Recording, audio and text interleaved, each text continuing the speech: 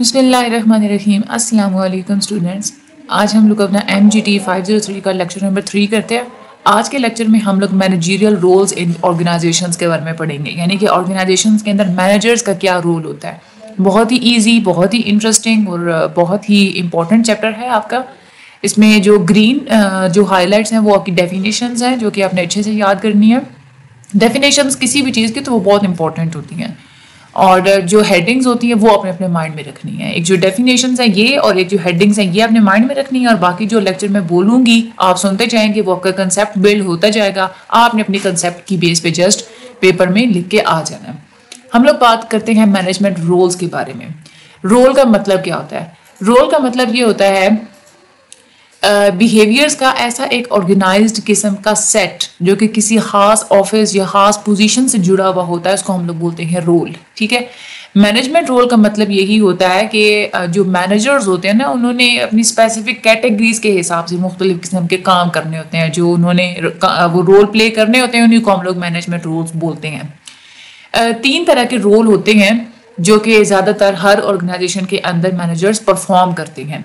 जो doctor Henry Mintzberg थे, उन्होंने बड़ा एक, बड़ी ये एक प्रोमिनेंट मैनेजमेंट रिसर्चर थे। वो ये कहते हैं कि जो मैनेजर्स होते हैं वो तभी ज़्यादा अच्छे से काम कर सकते हैं जब उनको पता हो कि हमारे रोल क्या है। ठीक है? तो डॉक्टर हेनरी मिट्सबर्ग का नाम आपने याद रखना है, किसी एम में आ सकते हैं, क्योंकि इनकी काफ़ी ज़्यादा बातें होती हैं, इन्होंने की हुई हैं, वो आगे भी हम लोग पढ़ेंगे।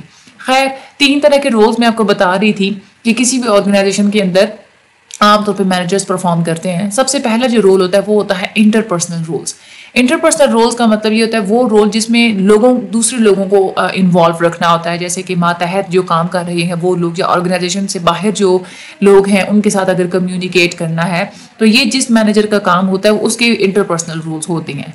या जो दूसरी जो मुख्तलिफ़ किस्म की जो ड्यूटीज़ होती हैं, जो कि सिम्बॉलिक होती है, यानी कि जो अपने ऑर्गेनाइजेशन को रिप्रेजेंट वगैरह करना होता है तो वो भी इसी के अंदर आ जाती हैं। इंटरपर्सनल रोल्स तीन तरह के होते हैं।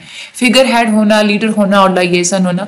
फिगर हेड होने का मतलब ये होता है कि वो इंसान जो कि पूरी ऑर्गेनाइजेशन को रिप्रेजेंट कर रहा होता है। बाहर के ऑर्गेनाइजेशन के साथ या बाहर के ममालिक के साथ या बाहर के लोगों के साथ जब कम्युनिकेट कर रहा होता है तो वो अपनी पूरी की पूरी ऑर्गेनाइजेशन को रिप्रेजेंट कर रहा होता है।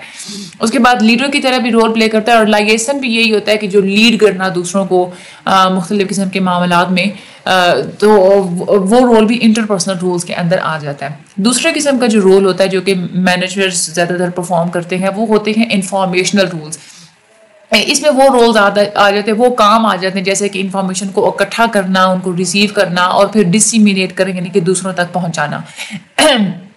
इंफॉर्मेशनल रोल्स तीन तरह के होते हैं। मॉनिटर डिसिमिनेटर और स्पोक्स पर्सन ये हम लोग आगे बारी बारी सबको जो है वो डिस्कस करेंगे। खैर मॉनिटर वो होता है कि इन्फॉर्मेशन को पहले तो ये देखना है कि कहाँ से इन्फॉर्मेशन आ रही है, कहाँ से लेनी है। डिसिमिनेटर यानी कि अगले बंदे तक जो है वो इन्फॉर्मेशन को मजीद पहुँचाना और स्पोक्स पर्सन यही होता है कि इन्फॉर्मेशन के बारे में कोई डिस्कशन वगैरह करना। उसके बाद तीसरी तरह का जो रोल आ जाता है मैनेजमेंट के अंदर, वो होते हैं डिसीजनल रोल्स इसमें यही होता है कि जो चॉइसेस वगैरह या जो डिसीजंस वगैरह लेने होते हैं मैनेजर्स ने, वो इनके डिसीजनल रोल्स के अंदर आ जाता है। चार तरह के डिसीजनल रोल्स होते हैं। एंटरप्रीन्योर उसके बाद डिस्टर्बेंस हैंडलर यानी कि अगर कोई डिस्टर्बेंस है या कोई डिफ़िकल्ट सिचुएशन है तो उसको हैंडल करना। रिसोर्स एलोकेटर यानी कि कोई रिसोर्स वगैरह चाहिए ऑर्गेनाइजेशन को तो उनको देखना कि वो कहाँ से मिलेंगी, को, क्या चीज़ चाहिए ऑर्गेनाइजेशन को, वो कहाँ से मिलेगी। और उसके बाद नेगोशिएटर की तरह भी काम करते हैं। खैर, ये भी हम लोग आगे बारी बारी पढ़ते हैं।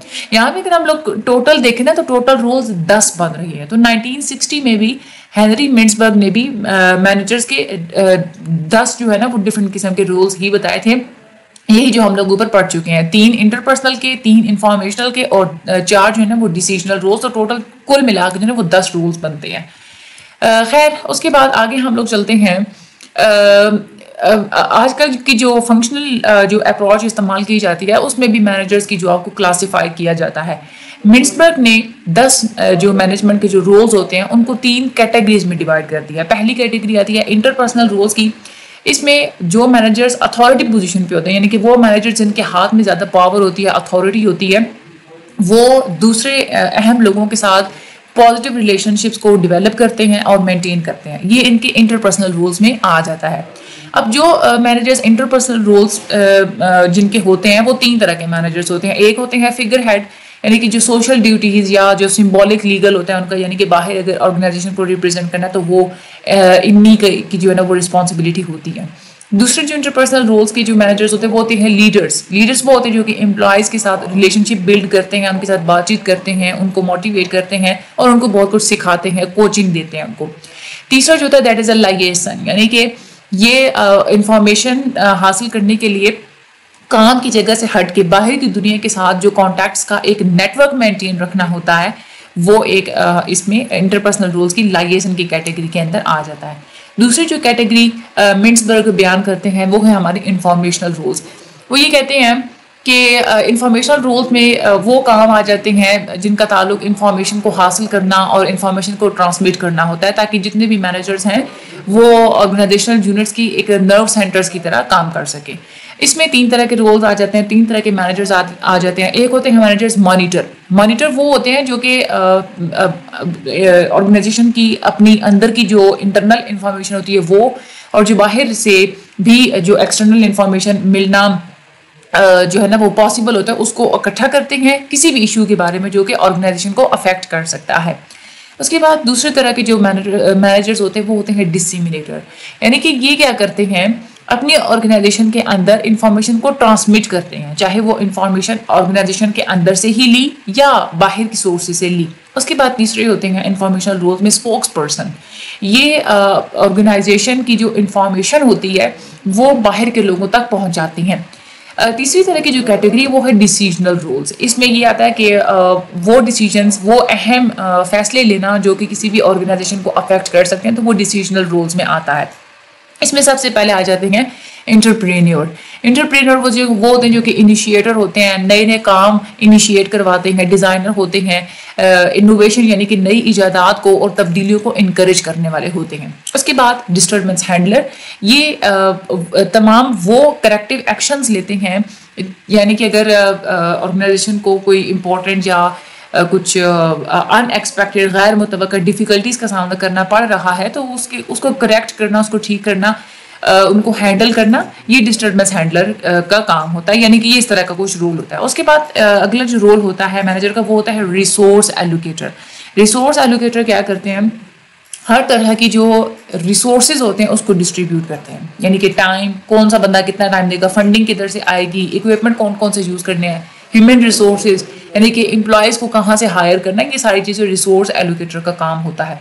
और आखिरी होते हैं निगोशिएटर्स निगोशिएटर्स क्या करते हैं कि जो बड़ी बड़ी निगोशिएशंस होती हैं, जो बड़ी बड़ी ऑर्गेनाइजेशन या जो दूसरे जितने भी कोई लोग या ममालिक वगैरह होते हैं, उनमें अपनी ऑर्गेनाइजेशन को रिप्रेजेंट करवाते हैं। तो ये भी मैनेजर्स की रिस्पॉन्सिबिलिटी में आ जाता है। हम लोग मैनेजमेंट के फोर फ़ंक्शंस पहले ही पढ़ चुके हैं कि मैनेजर्स के मैनेजमेंट के जो फ़ंक्शंस होते हैं ना, वो फोर होते हैं। अगर याद हो तो मैंने आपको पिछले दो लेक्चर्स में हम पढ़ चुके हैं पोल का। प्लानिंग ऑर्गेनाइजिंग लीडिंग कंट्रोलिंग और उसके अलावा आखिरी जो चीज़ होती है वो होती है एश्योरेंस ठीक है? तो मैनेजमेंट के जो फ़ंक्शंस होते हैं अगर हम लोग इसी को ही देखें तो हमें पता चल जाता है कि मैनेजर्स का मेन मकसद क्या होता है। उन्होंने किस किस्म के रोल्स लेने होते हैं। खैर यहाँ पे पूरा उन्होंने टेबल बताया हुआ और इस टेबल के अंदर सारी की सारी वही चीज़ें जो कि मैं आप लोगों को ऊपर बता चुकी हूँ।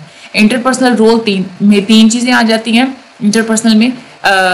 फिगर हेड लीडर लाइएसन इनके क्या क्या काम होते हैं, ये भी मैं आप लोगों को बता चुकी हूँ। उसके बाद इंफॉर्मेशनल आप अगर जस्ट इनकी हेडिंग्स कर लेंगे ना, जैसे इंटरपर्सनल रोल है, उसमें फिगर हेड लीडर लाइएसन ये आप हेडिंग्स याद रखें एक स्टेप बाय स्टेप और ये आपको पता होना चाहिए कि किस रोल के अंदर कौन सा इंसान क्या करता है। तो यकीन जाने आपका ये पूरा लेक्चर डन है। और ये बहुत इंपॉर्टेंट भी है। ये आप लोगों की लॉन्ग क्वेश्चन के हिसाब से बहुत ज़्यादा इंपॉर्टेंट है कि मैनेजरियल रोल्स की जो थ्री कैटेगरीज हैं, वो बताएँ, उसको डिस्क्राइब करें। तो ये आप लोगों को अच्छे से पता होना चाहिए। और आपके एम के हिसाब से तो बहुत ही ज़्यादा इंपॉर्टेंट है। और जैसे फॉर एग्ज़ाम्पल आपको ये तीन स्टेटमेंट्स ऑप्शन में तीन या चार स्टेटमेंट्स दे दी जाएँगी और आपको कहा जाएगा कि फिगर हेड का रोल क्या होता है।